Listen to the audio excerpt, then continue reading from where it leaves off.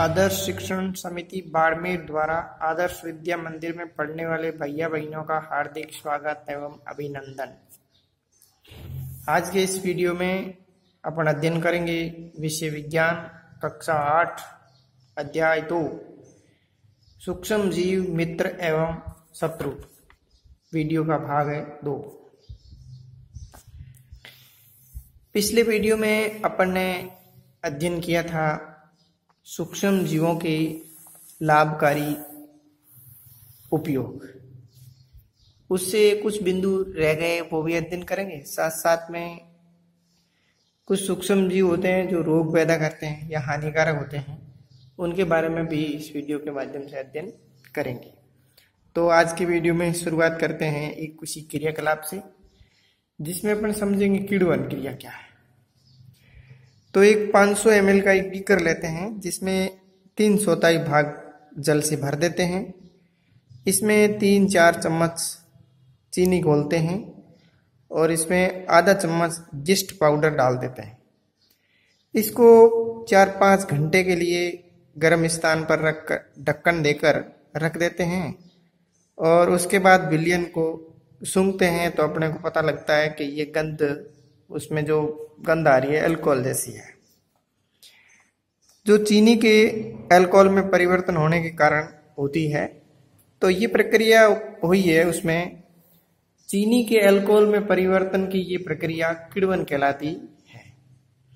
किड़वन की खोज सबसे पहले सत्रह में लुई पाचर नामक वैज्ञानिक ने की थी, जो स्क्रीन में एक फ़ोटो दिखाई दे रहा है। तो जो क्रियाकलाप था, उसमें चीनी का जो डाला था, वो एल्कोहल में बदल गई है। ये प्रक्रिया किड़वन क्रिया कहलाती है।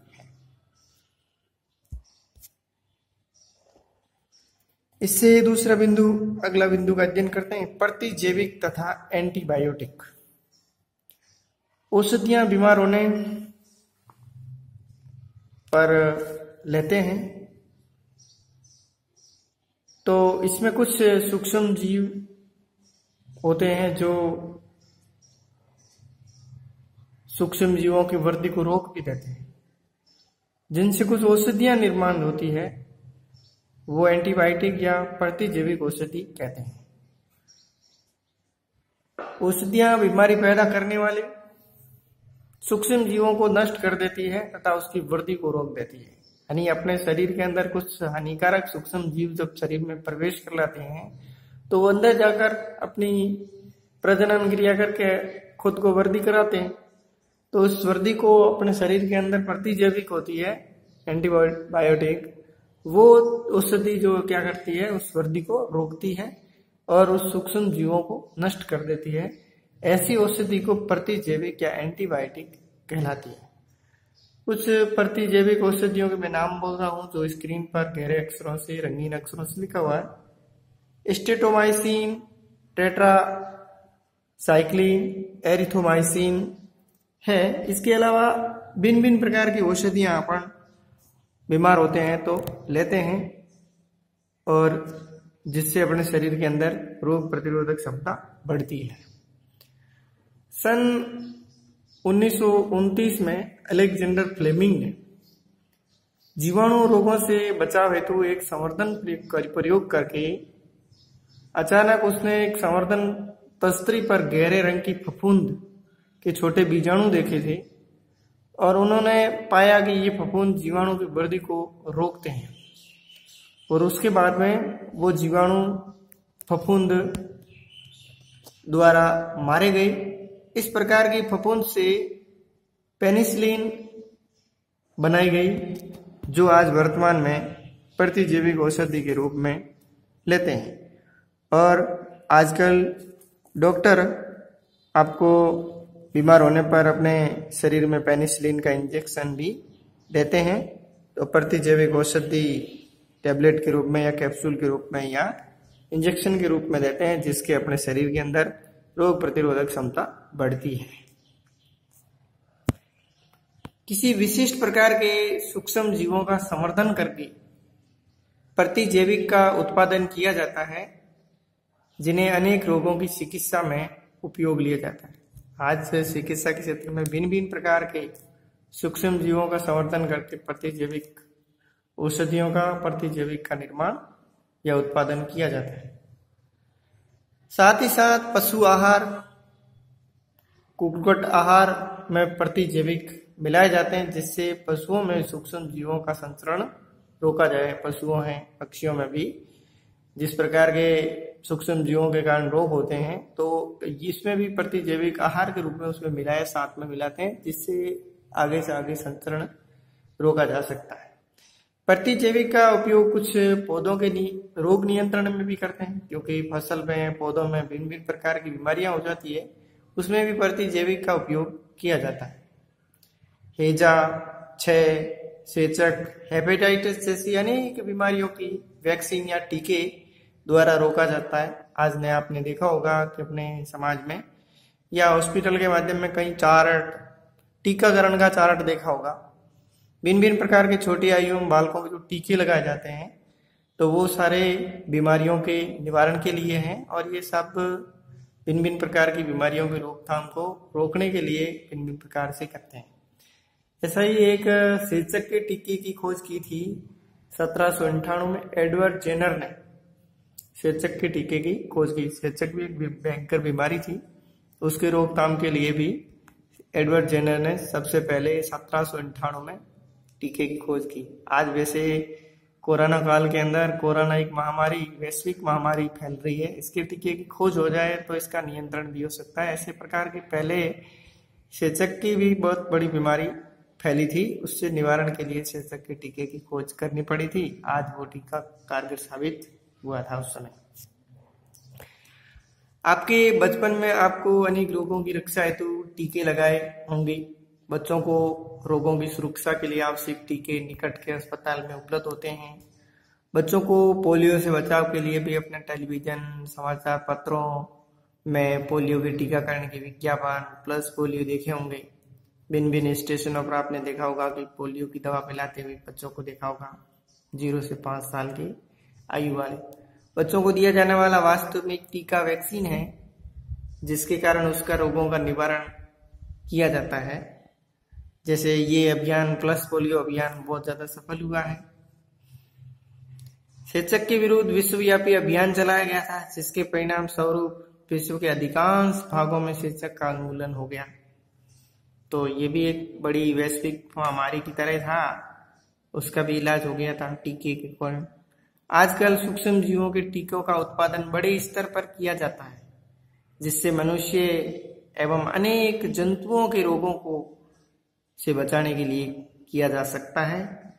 आज वर्तमान में कोरोना वायरस को हराने के लिए विश्व स्तर पर टीके की खोज चल रही है। यदि खोज में टीके का जल्दी से जल्दी खोज हो जाए तो इस रोग का भी उन्मूलन किया जा सकता है। सूक्ष्म जीवों में कुछ जीव ऐसे होते हैं जो बहुत ज़्यादा हानिकारक प्रभाव करते हैं, जिसके कारण ऐसे जीव हानिकारक होते हैं, जो हमारे लिए एक शत्रु का काम करते हैं। तो सूक्ष्म जीव अनेक प्रकार के होते हैं, जिसमें कुछ हानिकारक भी है।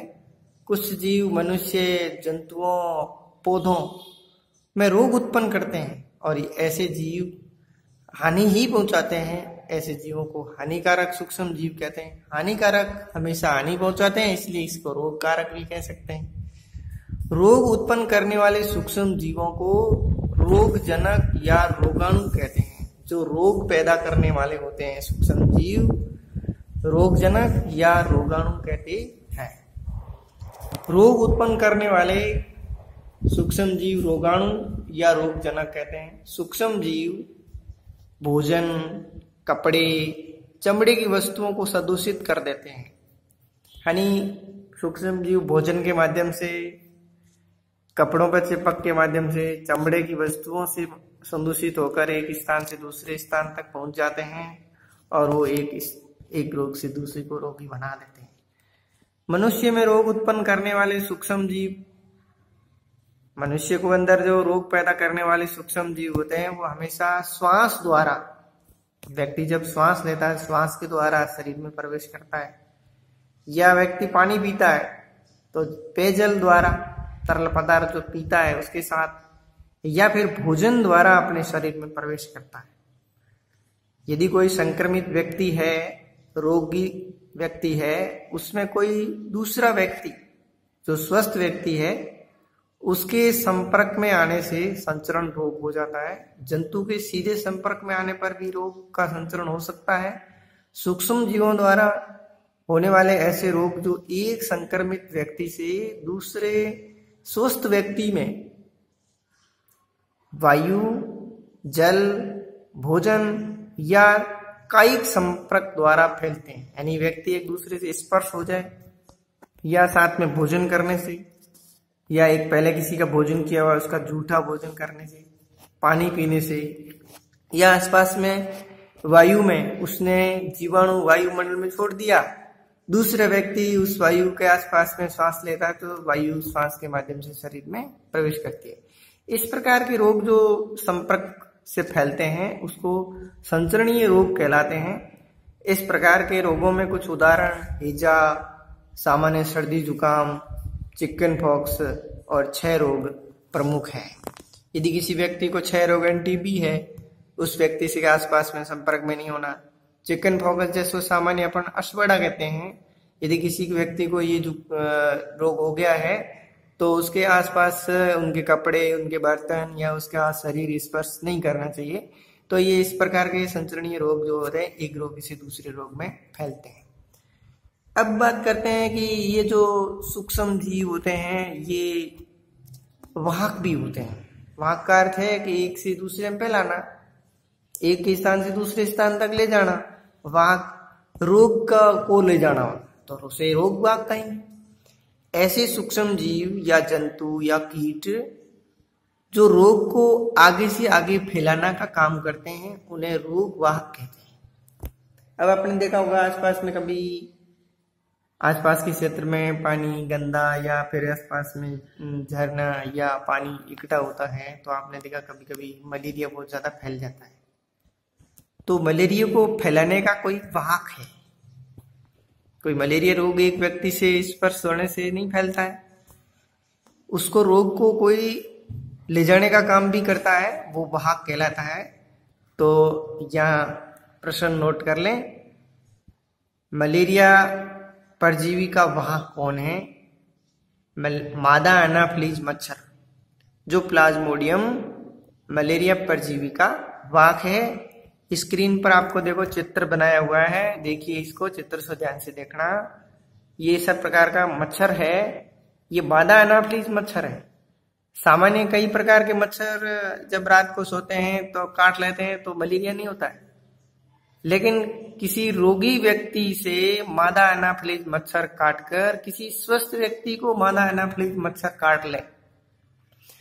तो जो रोगी व्यक्ति मलेरिया का था, उसके जो प्लाज्मोडियम थे, वो इस मच्छर के खून सूचने से इसके शरीर में आ गया था। ये वाहक का काम करके किसी स्वस्थ व्यक्ति को जब काटता है तो उसके शरीर के रक्त में ये प्लाज्मोडियम छोड़ देता है और वो प्लाज्मोडियम से उसके शरीर में जाने पर उस व्यक्ति के शरीर में मलेरिया परजीवी पहुँच जाता है।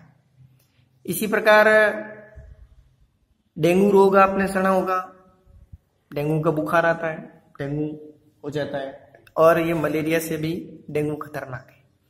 तो मादा मादा एडिस मच्छर जो है, वो डेंगू वायरस का वाहक है। मलेरिया को फैलने से रोकने एवं बचाव। यदि अपने आसपास के क्षेत्र में मलेरिया रोग ज़्यादा फैल गया है तो क्या करें? उसका नियंत्रण कैसे कर सकते हैं? उसका बचाव क्या करें? उसका इलाज किस तरह से संभव है? हालाँकि इसका इलाज सामान्य इंजेक्शन, दवाइयाँ, टेबलेट के माध्यम से हॉस्पिटल में संभव है।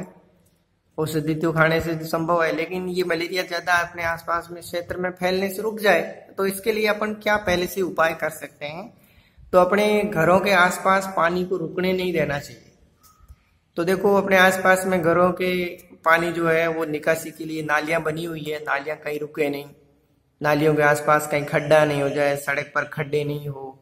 तो इस प्रकार का पानी को कुल मिला के अपने आसपास के क्षेत्र में जो पानी है, चलता है नाली में, वो रुकने नहीं देना चाहिए। घरों के आसपास के स्थान को साफ़ रखें, स्वच्छ, शुष्क, सूखा हुआ, गीलापन नहीं रहे, गीले गंदगी में कीचड़ में मच्छर पैदा हो जाते हैं। तो उस मच्छर पैदा होने से रुक जाएगा तो मलेरिया फैलना भी संभव नहीं है। जब बरसात के दिनों में होते हैं तो अपने कोई कूड़ादान या फिर ऐसा कचरा जो अपने अन्न उपयोगी होता है, जैसे कूलर खराब हो गया है तो अपन छत पर डाल देते हैं, या घर में किसी कॉर्नर में पड़ा है। टायर है, फूलदानी है, या भिन्न भिन्न प्रकार के कुछ बर्तन ऐसे जो उपयोग में नहीं ले रहते हैं। बरसात के दिनों में उसमें पानी जमा हो जाता है और वो पानी अपन खाली नहीं करते हैं तो कई दिनों तक पड़ा रहता है तो पानी के अंदर मच्छर पैदा होने शुरू हो जाते हैं, उस इकट्ठे पानी के अंदर भी है तो पानी को इकट्ठा नहीं होने दें।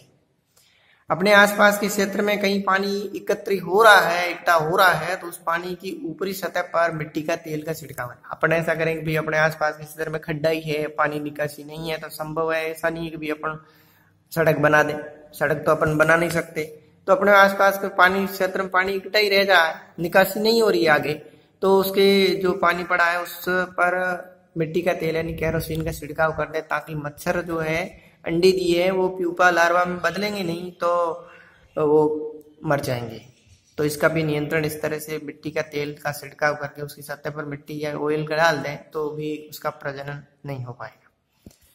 अब अपन कहते हैं भी पानी इकट्ठा अपन निकासी नहीं कर सकते।